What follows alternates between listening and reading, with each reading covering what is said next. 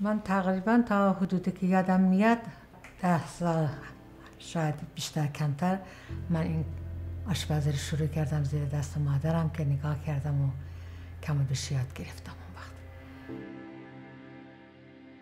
بعد رفت رفتم دیگه خودم سعی کردم که ادامه بدم و بیشترش کنم و بیشترش کنم و این کار را ادامه دادم.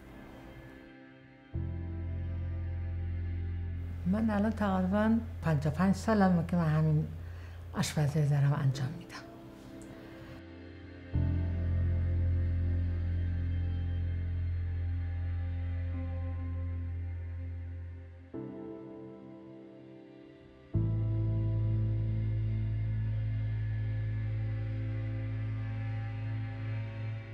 کار بیرون کلا پنج تا قرار نمی کنیم تو خونه مثلا. کار خونه و آشپزی و اینا. این اولین کارم که بود که شروع کردم. دوست داشتم خب برای خودم درآمدی داشته باشم بتونم رو پای خودم بیستم و و خوشحال باشم که بابا منم یه کاری ازم برمیاد که انجام بدم. بتونم پای نفر رو خوشحال کنم.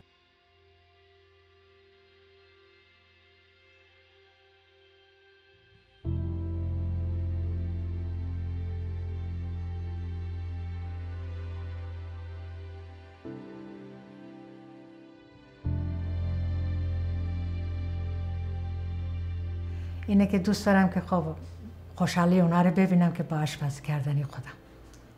هم, که دوست دارم که غذای معرفی کنم که غذای فرهنگ خودم باشه.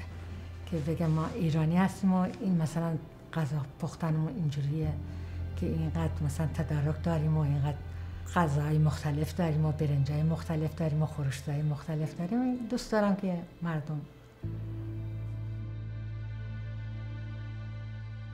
فکر می‌کنی اشتباهه که مثلا این شهرداری هنوز اینو زود قبول نمی‌کنه که مردم بتونن با خیال راحت آشپزی بکنن؟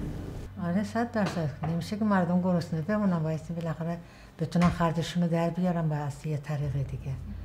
اینا چه قانون رو ثبت بکنن چه نکنن؟ تو به آشپزی ادامه میدی؟ چرا که نه؟ آره.